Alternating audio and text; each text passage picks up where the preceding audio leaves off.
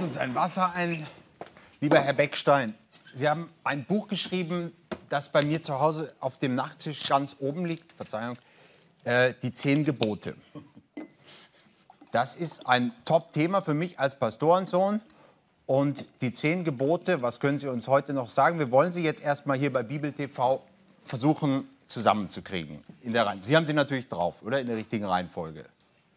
Ich denke, ich kann es noch einigermaßen, ja. Wir haben es da mit zwei Agnostikern zu tun. Wir versuchen es mal und Sie beaufsichtigen. Also das erste der zehn Gebote, du sollst... Äh, Keine anderen Götter haben neben mir. Neben mir, genau. Das ist das erste. Das zweite, äh, du sollst nicht... Ähm, Markus? Der hat die bestimmt hier Ich, hab, äh, ich weiß es nicht. Ich weiß nur, dass egal was Sollst es ist, nicht töten. Das oder? ist auch Ist ein wenig gut. später, Was- was ist aber zwei? ist nicht äh, Was weniger ist, wichtig. Was ist zwei? Vater und Mutter. Ja, Da würde ne? ich Vater Nummer vier sagen. ehren. Du sollst äh, äh, den, den Feiertag heiligen, gibt es noch? Drei. Drei. Du sollst dir kein Bild machen. Von Gott. Zwei. Zwei. Na, Ja? Sind wir bei zwei.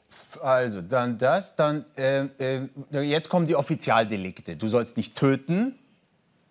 Du sollst nicht die Ehe brechen. Ehe das ist das Leichteste. Schön groß an Seehofer, oder? Das ist Ja. das leichteste Gebot, weil man sich das gut merken kann. Ja, ich bin- bin- Sechstes Gebot, sechs. Ach so. Ja, also nicht Das Ehe sind die brechen. Eselsbrücken, die auch ich brauche. Ja, ich bin erst seit Juni verheiratet. Für mich hängt der Himmel noch voller Geigen. Sie schon länger, das wird ja nach hinten raus wichtiger, dieses Gebot, ne? Weiß ich nicht. Hm. Wenn man älter wird, dann spielen andere Dinge eine größere Rolle als das, würde ich mal sagen. ja. Bei mir auch schon so. Sex. Bin ich durch mit. Ähm, äh, äh, was haben wir noch? Du sollst äh, Vater und Mutter ehren. Äh, gibt's auch, oder? Das war vier, oder? Vier? Du sollst Vater. Ja. Eben, nicht nur am Muttertag Fleurop, sondern Vater und Mutter ehren. Das kann man gar nicht. Fünf ist dann, du sollst nicht zur Tele 5 wechseln. Also als Eselsbrücke. Ja, Das stimmt nicht. sehr lustig, Herr Blome. Sie sind ja sehr, sehr schnell mitgekommen. Sie waren ja der Erste. Ja, ich habe tagelang an ihrer Tür geklopft. Da gibt es hinten noch dieses, ähm, äh, äh, du sollst nicht äh, begehren deines nächsten Weinweib und Gesang. Da ist so Und nein, das ist Vieh, nächsten Amt, ja.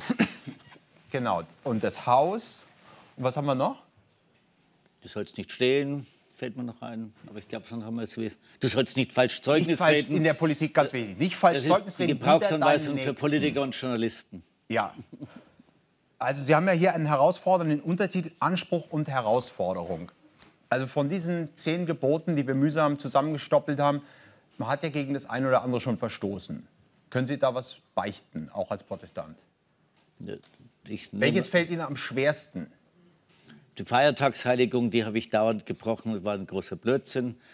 Die, ich habe gegen fast eigentlich alle Töten? verstoßen, außer bei der Frage der Tötung. Da hoffe ich, Aber Ehebrechen ich, war so CSU. dass ich äh, ja gut, Luther sagt ja, dass auch böse Gedanken unter Umständen ein Verstoß sind. Mhm. Und von daher ist es für einen Lutheraner am Reformationstag jetzt in die, und da ist äh, Schönen Gruß an Margot Käßmann. Aber Sie haben nicht gegen mehr gebrochen als der Kollege Blome. Ich meine, er arbeitet bei der Bild-Zeitung. Da ist das fast automatisch. Aber da wird ja nicht getötet. Nee, das Ja, nicht. ja- Außer, außer die, also Aber es werden schöne Fotos gezeigt davon. von Tötungen? Nein. Nee.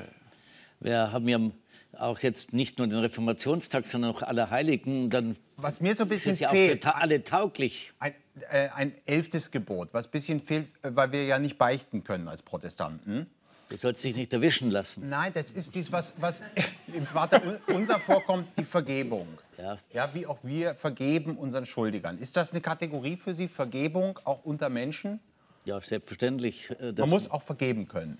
und man hofft darauf, dass auch andere äh, einem vergeben, weil man ja alle möglichen Blödsinn macht. Und dass man nach einer gewissen Zeit Menschen auch vergibt.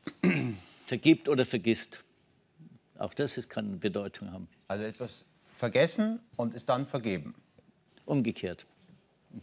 Etwas vergeben und ist dann vergessen. Sekunde. Ich glaube, da muss ich rangehen. Ja. Oh. Stuttgart-Barre? Ja, Benneke, guten Abend. Ja? Ich würde gerne mit Herrn Beckstein sprechen.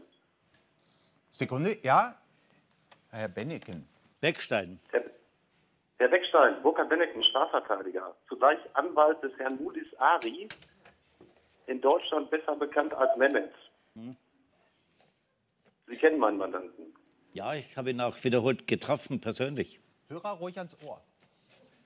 Genau, ich, ich auch. Ich war gerade in Istanbul bei ihm und habe mit ihm gesprochen und wir haben eine Mission vor, nämlich die Rückholung meines Mandanten aus der Türkei nach Deutschland. Wie Sie ja wissen, hat er hier noch eine Ausweisungsverfügung. Und wir möchten, dass er wieder einreisen darf und auch die hier noch offene Reststrafe von anderthalb Jahren Freiheitsstrafe ihm im Gnadenwege erlassen wird. Und bei dieser Mission haben wir auch an Sie gedacht und äh, würden gerne auf Ihre Unterstützung setzen. Da kann ich Ihnen nicht sonderlich mit dienen. Er ist äh, verurteilt übrigens insbesondere durch auch einen Strafantrag seiner eigenen Eltern, die sich von ihm bedroht gefühlt haben. Und es ist das Normale, dass Strafen zunächst mal abgesessen werden. Ob er dann auf Dauer bleiben kann, ist von den zuständigen Stellen zu entscheiden. Aber zum- Vergebung, Vergebung haben wir gerade. er soll nicht schlechter behandelt werden, aber auch nicht besser als andere. Genau, aber man muss sicherlich eine, eine Gesamtabwürdigung vornehmen, Herr Beckstein. Und wenn wir über, über eine christliche Weltanschauung reden, dann meine ich, gibt es ja auch sowas wie Gnade, wie Nachgeben, wie Verzeihen können. Und mein Mandant hat mir gesagt, dass er heute völlig weg ist von irgendwelchen Straftaten und seine Zielsetzung geht gerade dahin, nach Deutschland zu kommen, um hier äh, Jugendliche und heranwachsende Menschen von Gewalttaten abzuhalten, mit denen zu sprechen. Und er sagt mir, was ich auch glaube, dass er diese Menschen viel besser erreichen kann äh, als andere Personen, die möglicherweise im. Bundestag große Sprüche klopfen, Also er hat jetzt aber gar nicht so. Äh, jetzt, herankommen jetzt die müssen Sie aber den Herrn Beckstein auch was sagen lassen. Also, äh, er kommt nach Deutschland. Er hatte eine zweite Chance. Er war ja, nachdem er gewisse Zeit in der Türkei war, wo er sich auch tadelfrei verhalten hat. In der Türkei hat er keinerlei Also. Schwierigkeiten gemacht. Aber wie er dann wieder in Deutschland war, hat er leider wieder eine ganze Serie von Straftaten gemacht. Beispielsweise auch seine Eltern so bedroht, dass seine eigenen Eltern ihn angezeigt haben. Das war die Grundlage für eine Bestrafung, die noch offen ist. Und dass er sich der Strafe jetzt längere Zeit entzogen hat, wird er normalerweise nicht dadurch belohnt, dass man sagt, wer es fünf Jahre geschafft hat, sich vor der Strafverfolgung zu entziehen, dem wird die Strafe erlassen. Das Also wäre sehr ungewöhnlich, würde Ja. auch der Herr Benediken als Anwalt sagen. Lieber das Herr würde für andere wahrscheinlich auch nicht gelten. ein bisschen komplizierter, als wir gehofft hatten. Wir dachten, es ist jetzt herzblattartig, dass wir hier eine Zusammenführung herbeiführen können. Es ist in der Schwebe. Wir drücken die Daumen, wir werden das weiter beobachten und Herr Beckstein wird noch mal in seinem Buch nachlesen über die Vergebung. Ja?